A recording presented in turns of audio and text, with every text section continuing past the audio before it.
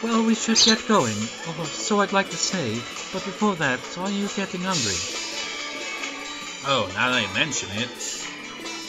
It's lunchtime, let's get something to eat. Sunset! There are a lot of restaurants here in Tomaki. The problem is that around noon on weekend, people will line up outside of them and all that. People line up at restaurants in Japan a lot, huh? Yes, a great deal of people come to popular restaurants, especially in Tokyo, so there's no avoiding it. By the way, is there anything you'd like to eat? Anything I'd like to eat, huh? Let me see. I think it should be something really Japanese. Did we get the achievement and I didn't even notice it? I don't know. Something really Japanese. Hmm. Hmm, actually, there's something I've been smelling for a while. Smelling? Yeah, it's kind of sweet and fragrant. What could it be? Oh, that, I see. Yes, that would be quite Japanese. Then as long as we're here, let's go to the restaurant that's putting out that smell. Sounds good. Sunset! Based on how it smells, I bet it'll taste great. So, what does this uh, restaurant serve? It's an unagi restaurant. Nagi? You mean eel? Yes. Those thin, dirty, squiggly things? That's right. Soyo. You don't want to after all. I'm not against it, but to be honest, I'm a little skeptical. I see. Should we go somewhere else then? Oh no, this is fine. I was just uh, a little surprised. But yeah, I'm alright. Really? Have you ever had eel before? I haven't, obviously. So I can't really comment on it. You know, another one that I find odd is squid, but I've never had that either. It's like, I've had fish, and I like fish, but it's usually, you know, like, I'm not even sure what type of fish it is, honestly. Probably cod, I imagine. Stuff like that. But definitely never had eel or anything like that. Really? Yeah, appreciating the local food is uh, food is important to understanding the culture. Respecting each other this way will lead to better cultural exchanges. You know, I wonder what my reaction would be like to sampling Japanese cuisine. Because I don't think I've ever had anything that's actually, you know, essentially Japanese cuisine. Like since can and all, like one thing I've been wanting to try but can't because uh, I don't know where they even sell it in my country is taiyaki. It sounds delicious. Hmm, what's wrong? Oh, sure. Nothing. That was well said, and I'm rather impressed. Really? Sure, sure. Yes, I believe that each country has fostered its own unique culture, and food is the best demonstration of that. So I'm really glad you feel that way too. Really? Haha, and all that. What is it? Not me.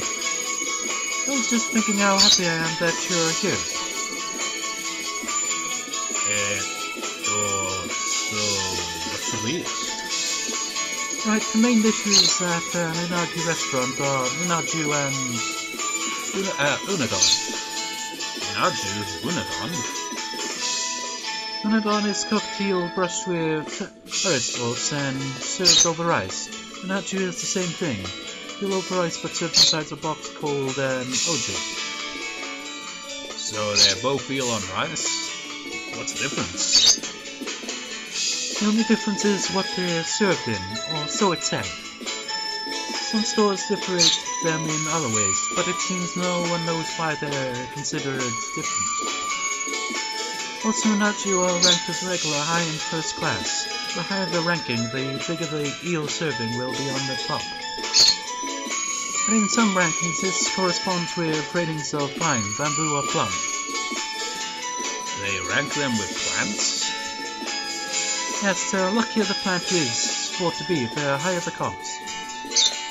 I think we should go with the middle ranking, high. I see, all. Excuse me, Sir Masen, and all that. Oh, Mataseti, Ashire, Hache, Mashta, a high! Rhyme. Olmata Seishimashita, ritual your phrase used by servers when bringing your food. Wow, it's even got a lid. They say that in the old days people would walk around town selling unagi. Well then, I'll open the lid and... This is it? Hmm, what a smell. It really does uh, whet your appetite. But it doesn't look like you at all. So flat. They split and debone the with a knife, put it on a skewer, brush it with sauce, and then slowly boil it. You know what? From like, imagine if eels could think and comprehend stuff like this, and someone said a line like that. That'd be a horror story to them. It's like, oh yeah, they're split, deboned with a knife, put on a skewer, brush with a bit of sauce, and then slowly broil the bastard. It's like, ah! That's the thing with all types of fish, really, isn't it? I mean, you've got like some people that eat fish that is literally just a freaking fish, just like, you know, not not cut up or anything like that. Just like you know, have the fish staring at you. I would never, probably never be able to eat a fish if it was like that. I'd be like, hell no, man. It makes me think of uh, comedian Jasper Carrott. I think he was like talking about like some experience he had in China with food or something like that, and he said something about his food. I can't remember if it was fish or something else, but he was like essentially said something like, um, yeah, it was a fish actually. He just like, I don't want to like, you know, have to stare at my, well, actually, uh, god damn, I can't remember the way he worded it. Very nice. It was kind of amusing. Uh, essentially he said something along the lines of not wanting to, you know, stare at the animal that he's going to be eating, essentially. I just can't remember how he worded it, but it was kind of amusing. And the way he, like, freaking talks about how casual they are about it. It's like, oh, here's the aquarium, and just get out of that, and just like, okay. It's like, I don't know, I can't remember, it's been a while. But anyway, that's what I think. There used to be a saying that learning to skewer them took three years, learning the knife technique took eight, and learning how to how to cook them took a lifetime. Well, that's a bit much, isn't it? Wow. The same is true for the sword. Some restaurants have traditional recipes they've handed down for generations. In other words, the people here have loved eels for a very long time. Anyway, let's eat it before it gets cold. Sure, itadakimasu! Hum! Oishii! It's fragrant and sweet. There are even some nice fatty bits. I can't believe this is one of those slimy eels. The sauce has soaked into the rice too. I could eat just the sauce and rice. I'm glad you like it.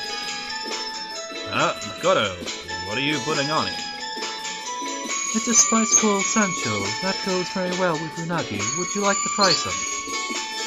Well, maybe just a little. Hmm, You didn't like it? it's an odd taste and a little spicy, That's true. but I feel like it tightens up the sweetness of the eel. I thought eels were just slimy and gross creatures, but if you cook them right, I guess they can also be delicious.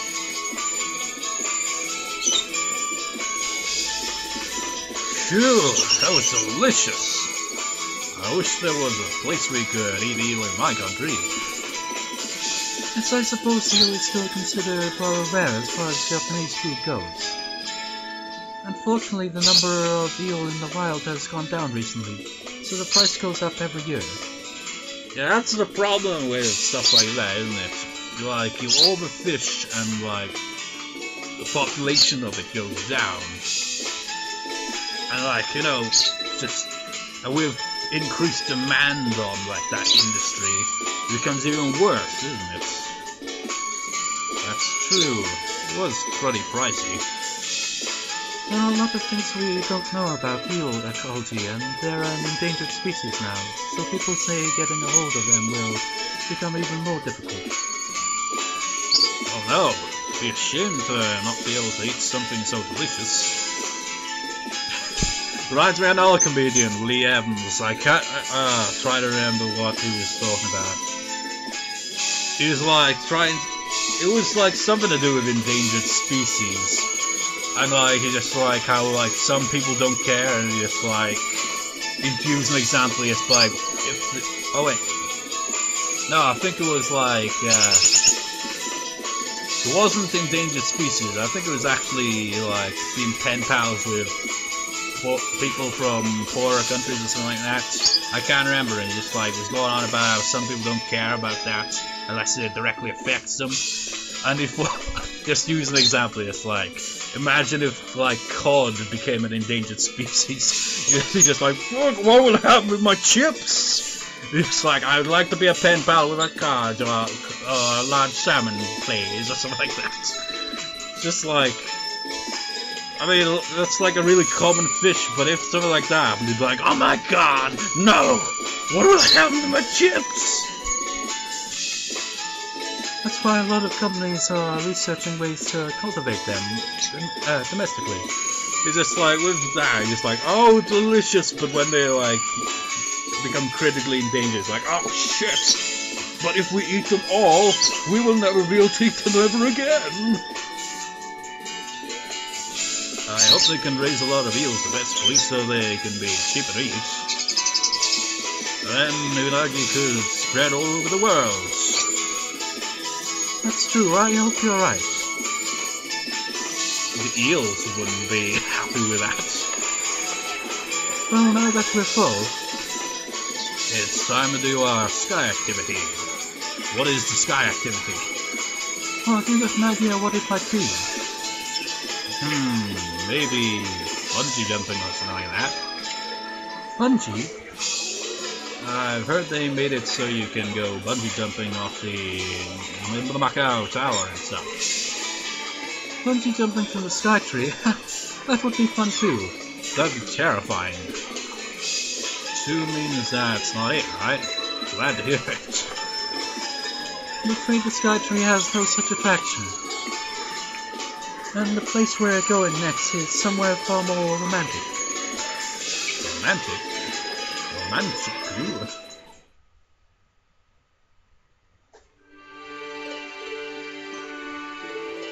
Isn't it lovely? Hmm. Ooh! Achievement unlocked sky! Nice! Very nice. I was not expecting a CG to be honest. Very nice. I get it. When she said sky, she meant the planetarium. Oh, of course! They did say there was a planetarium, wasn't it? Is there anything new here? Nope. But nice CG. I never thought we'd be able to see such a beautiful night sky in the middle of the city. Perhaps Japanese people just like looking up at the stars. There are over 100 planetariums in the city. Damn. There are that many? Yes, some of the more recent ones don't just show the stars, but things from Mount Fuji or the auroras. They also do collaborations with artists, musicians, and literacy works to incorporate all kinds of innovative features. Ah, what's that nice smell? It seems that channeling in, uh, in pleasant aromas to help people relax is one of the new features. You know, it's funny, really, isn't it? Because he's got no eyes. I mean, he's got the indication for eyes, but he's got no actual eyes drawn in. It's like, I can't see the planetarium, but I'm sure it looks lovely. I see. I mean, how different is that? Like, if you choose ocean, you're just like, uh, I, I'm not sure. Maybe they've updated it so that you actually go somewhere with Akira, but it's like, I don't remember it really leading to anything. I don't know. Hey, are the stars in your country the same as the ones here? I think so. They're probably the same stars you see in Japan.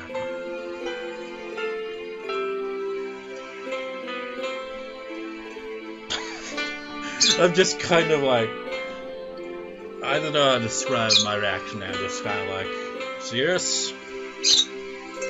I mean, of course it would be. It's not like we're gonna like. We the planet orbits the sun.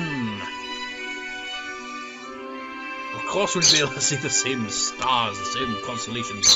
Then again, there are like, you know, parts of the planet wherever you are could, I suppose, influence like what type thing you see. Like in the northern hemisphere, I think like in the Arctic Circle, you can see like the auroras and all that. But you don't really see them like in, say, Japan, for example, or UK. I don't know. Never really thought about that, to be honest. Or maybe I have. Doesn't matter. I'm mysterious. We're so far away, yet we see the same view. It's such a small distance in the broader scope of the universe. But it is a rather large distance for us. Yeah, I think I've mentioned this before. I remember hearing like you could fit all the planets in our solar system between the space between Earth and the Moon. That's just how far away things are in the universe in general. It's like large distances.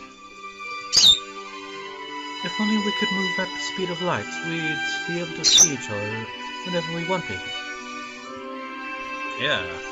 Of course, if you did move at the speed of light, like depending on where you're going, I mean, imagine going around the world at the speed of light, you'd probably crash. It's like, you reckless fools, what have you done?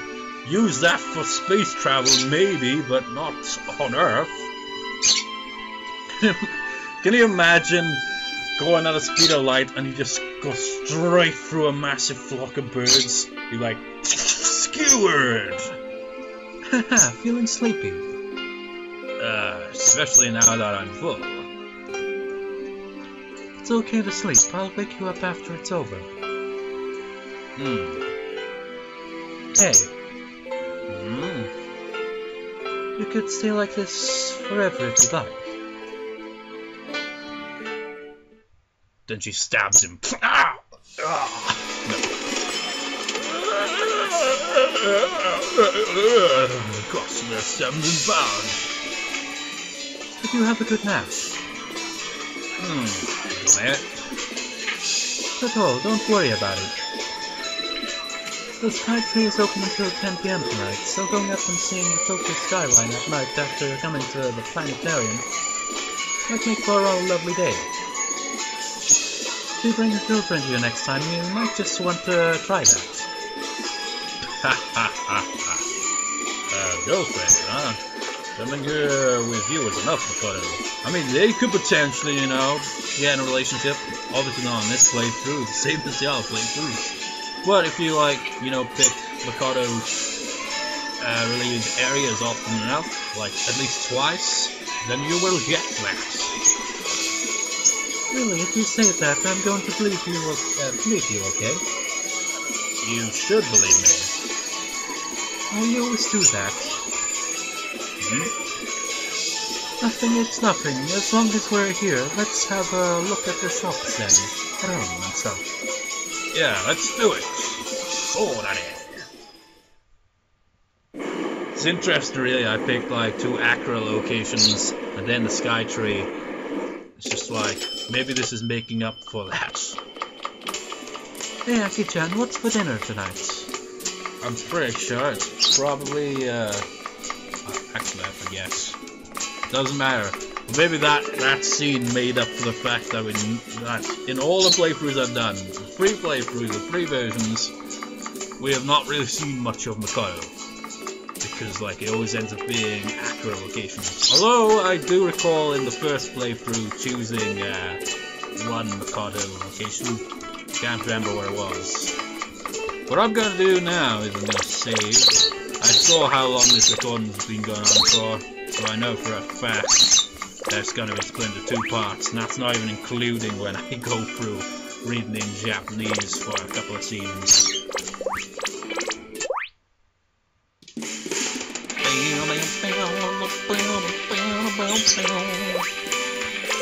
Actually, uh, no, I didn't go for any of scenes yet. Well, I did technically just now, didn't I? Also, once it loads, remember this one? That was in Ikebukuro. So, whoa! Fish! I have no eyes! So in that drawing, you can see that, like, like in, in this recording I showed early on, when I drew him, I had this image up to kind of like as a reference point. You can definitely see it. Honestly, I should have had it up again because, like, I've got the draw in his teeth now that I'm looking at it again. But you know, his arms out like that. I was originally going to do that as well, but then I was like, ah, shit, I don't want to, to draw it like that. It would just look awkward. It makes it look like he has his hands on Akira and Mikado's backs, and just would seem just like, what are you doing, Mr. Protagonist, with that smile as well? There's like, no, it's like, have one of his arms is like, kind of to his side, like Akira's pose essentially, and the other hand is like, let's try to make it so that he's giving like the peace sign. And so I did that instead. So obviously when it came to that, I literally just looked at my own hand when I did that essentially. Was like, okay, how am I gonna go about drawing this hand? Because hands are a pain in the ass to draw. So I have to use my own hand as a reference point rather than this image for that. That one that we just got. Well, in this, I guess. Like, yay! That is a beautiful CG. She has a look of elegance, Mikado does, doesn't she?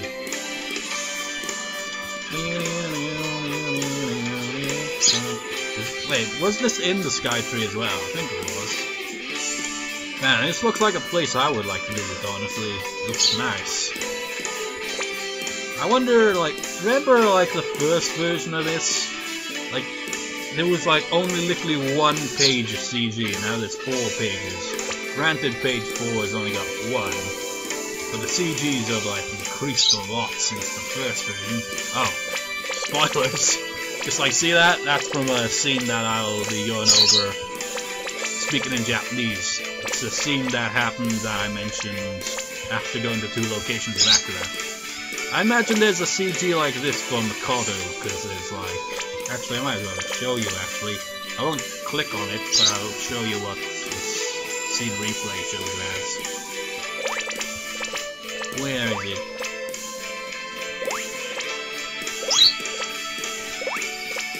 Yeah, there it is. Hanabi Akira. Hanabi, which means fireworks. So since it says Akira, there must be a version for Mikado as well but it must be triggered from probably spending more time with one character than the other, because that's clearly how I got that one with Akira, because I went to two different locations with her, and at the end of the second location, I suppose it's also to do with the ordering as well, I imagine. Like, if we say like, if I went like, actually, didn't that happen in the original playthrough I did in this Let's Play? There was followed up by the Mikado location, wasn't it? After, what was it? Shibamata. And then the third location was uh, uh, Nakano. Notice that we didn't get that scene despite going two locations with Akira. I think that might be it. It's like, you've got to get in the right order. It doesn't matter what locations you choose as long as it's with one of the characters.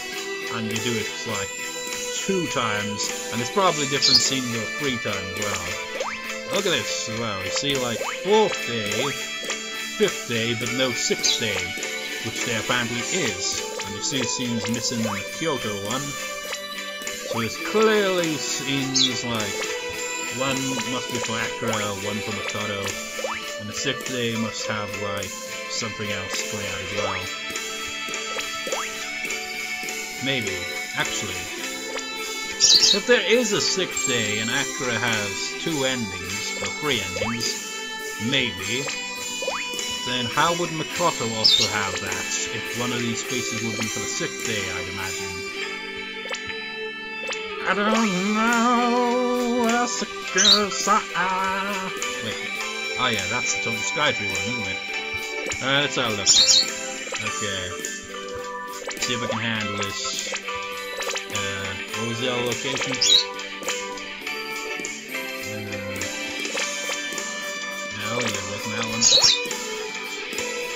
Uh, wait, yeah, it was actually.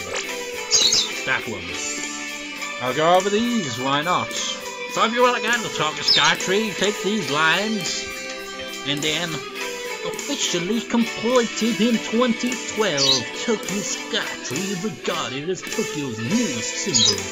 When I went inside, I was surprised by how tall it was. Uh, even it's even higher than the KVLY TV mast in the United States. And it is accredited by the Guinness World Records as the world's tallest tower in 2011. It ranks second as the largest building in the world after the Burj Khalifa in Dubai. The official height of the Skytree is 634 meters, which is a fun due to Tokyo's countryside once being known as Musashi. Now, if this was like, I mean, they've like updated this is 2016 version, but I don't know if they've updated like the uh, sightseeing album information or not. So for all I know, uh, maybe the Tokyo Skytree is no longer the second tallest tower or whatever. It's second largest. I mean, holy shit, that is pretty damn tall. My god. During the hallways, the Skytree is often floor, lead with tourists from the observatory, which is 350 meters to 450 meters above the ground. A 360 degrees view around Tokyo. When the weather is nice, sometimes you can see Mount Fuji from the Skytree. There is also a facility known as Omachi, a shopping and entertainment district with an on-site aquarium and planetarium. Yeah, when you say that, say ocean Maybe there is like being a new scene with Akira that gets added on where you go to the aquarium. Maybe. Because, like, say sky and ocean, it seems like a matchup, wouldn't it? all of especially dishes and sriracha and at the local restaurants. Also recommend looking at the Skytree from the outside. Depending on which direction you're looking at it from, it looks warped on both sides. The best picture of the Sky Tree is on the outside, which uses a variety of colored lights to illuminate the tower at night. It's almost like watching fireworks. Uh, where, where are we here? Uh, just one You didn't, well, you did actually see if you saw my playthrough of the original version, because I technically went to this location in that room that explain it all. Ikebukuro is one of the pillars of Tokyo and is a massive shopping district. It's not as specialized as Akihabara, uh, but it's a town painted with a variety of things do and explore, such as electronic stores and fashionable pizza, to restaurants, amusement parks, and museums. Ikebukuro is the man's leading shopping district, and there are parts full of famous shops that sell gyoza and desserts. What the fuck with my boss? Chinese style cooking consists of meat or vegetables wrapped in a thinly rolled dough made from refined flour. As Chinese cooking goes, it is one of the most popular types of food in Japan. Alongside a multitude of French and Italian restaurants, but the town's true specialty is ramen. Ramen is Japan's most popular form of Chinese cooking, and there are regional varieties all across the nation. Ikebukuro is famous for its well, the warring ramen shops, you can preach on various levels. We ate that noon and I had to sit perfectly sit at the taste of the smooth noodles. We had a lot of fun. Should have paused between that because it's a full stop. But it makes me think of like this, the town centre, like where I live. Just like loads of like restaurants like that. It must, and I just imagine like anyone walking on that street and like anyone else on the in the other restaurants hears or sees someone walk into a different restaurant, just pop their head out and be like, You traitor! Get your ass over here! Just like, no, come this way! Yeah, yeah! It's like so many of them. More about food. Tokyo is a town that has featured a variety of cuisines since ancient times. In the Edo period, from 1603 to 1868, when the Tokugawa family held government control of the country. This time period borrows its name from Edo, Tokyo's original name and the political capital of Japan. The provincial samurai had to visit Edo once every few years under the alternative attendance system. Known as Sankin Kotai, this was a law requiring the principal lords to travel from their distant provinces to Edo with huge canoes in tow. It was established by the government to keep the keep the these lords impoverished and under control. Obviously, these little samurai longed for the food of their province. That man turned Edo into a place where you can enjoy food from all over Japan. If you read the diaries of those samurai, these samurai, you can find references to them walking around and trying out different kinds of food every day. Even now, you can enjoy food from all over the country in Tokyo, and that passion for cooking has a long history.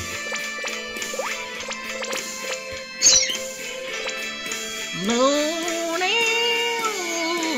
terrible films in Slater period. Yanaka's full of shrines and graveyards. One of these, Yanaka Cemetery, is quite famous in recent years. Paul damn! The retro style bit.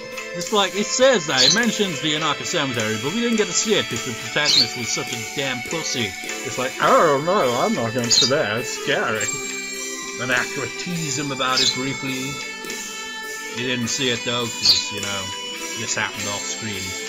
In recent years, retro-style buildings have made it popular even in Japan, and there's been an increase in people walking around the Yanesen, Yanaka Nezu Sendagi area. The region was spread, uh, spared the bombing from the war. So many old buildings still remain. In addition, new shops have been bought up amidst the old storefronts, creating a feeling mix of the old and the new. That's the most popular uh, site, Yanaka Ginza, is a short 170 long avenue that's still uh, crammed in about 70 individually owned storefronts, all of which are largely empty and always bustling with people. There's a lot of food that you can eat while walking around, like croquettes and dango. So it's a fun place to go to eat too. In front of bars, it's not uncommon to see people putting beer cases over as makeshift chairs, drinking canned beer and making small talk. You know, there's also a town of cats. You see cats lounging on the roadside and in front of shops, and you often see tourists taking pictures of them. There are also a lot of shops and wares that feature a feline body, and they're aggressively used in signage. While walking around Yanaka Ginza, you might be surprised to abruptly see a cat statue on a roof. These are the Yanaka 7 lucky cats, placed there by the merchants to help people enjoy Yanaka Ginza, and there are 7 hidden cat statues in all. Looking for them as you walk around is a part of the fun. At the entrance to Yanaka Ginza is a stairway called uh, Yuyake Dandan at Sunset Stairs. From the top of the stairs on clear well days, you can see beautiful sunsets, though you may want to plan a visit to Yanaka Ginza around that. But the shops close around 5pm, so be careful.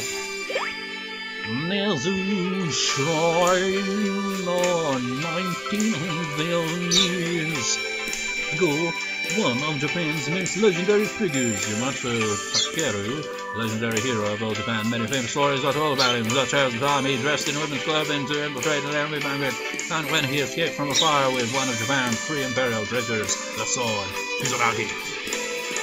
I think I've heard that sword before. At least vaguely. Maybe I've even heard this guy as well. In this shrine in Sendagi, which was moved to its current location during the Edo period. It's one of Tokyo's ten great shrines. The current main shrine building was completed in 1706 under a great construction project known as the Tenka Bushin. The seven current buildings on the grounds are regarded as important cultural bodies. Many literacy masters of the Meiji period lived in the area, and so it often appears in literature, and the ruins of many things spoken about in that literature remain. Inside there's also a Senbon Torii, Thousand Gates, like the famous one at Kyoto's Fushimi Inari Shrine, well, there aren't really that many gates there, as the thousand just implies that there are very many. Each was denoted, donated as thanks to, by those whose wishes were granted after visiting the shrine. The number of gates shows just how many wishes have been granted. The sight of all the bright red gates gallery, the, gal the gallery is an overwhelming sight. The thousand gates of Nezu Shrine are said to purge you of evil influences if you walk them from north to south. Mean, passing through from the left of the main shrine building, the Otome Inari Shrine is partly through the Thousand Gates Walk, and many women visit it to pray for their romance to bear fruit. There's a shrine is famous for its azaleas, and the approx 2,000 azalea gardens blossom into a wealth of colour with 100 species and 3,000 frames in spring. It's a treat for the eyes of any visitor. Very nice. I quite like that location. Didn't have any CGs, but it was a nice location. Anyways, this this LP is going to have more bonus parts than I thought, because this is going to be split into two parts, and the next ones are going to be like essentially me reading through a couple of scenes in Japanese, like that fireworks one I mentioned. I'm going to play for the rest of Akira's routes that I'm assuming it's obviously going to lead to, and any scenes that we haven't seen before other than the locations we visited, you know, like the fireworks one. I'm also going to include the movie one if we get that as well. Just so I can read in Japanese those scenes and have the, like a story being told. It's just like the developments of the relationship or whatever. Anyways, seems kind of a shame after that scene with Makoto. Still gonna end up back because it's like they they totally had a moment there at that planetarium, man. Someday, Makoto, if they make another version, maybe you will finally get your chance to shine. But Akira has been dominating since the very beginning. It's like she said in the After LP talk. I mean, I said, but in character. It's like, I know all the best locations. So yeah. Anyways, I'll see you next time for the other bonus parts. Seriously, this could just count as part of the main Let's Play. But I just like already had the final part, and it's gonna be probably a number of bonus parts as well. That could have just been part of it, but wherever, I'm counting these as bonus parts because they're after the main playthrough. So whatever, I'll see you then, dudes. See you next time. See you next time.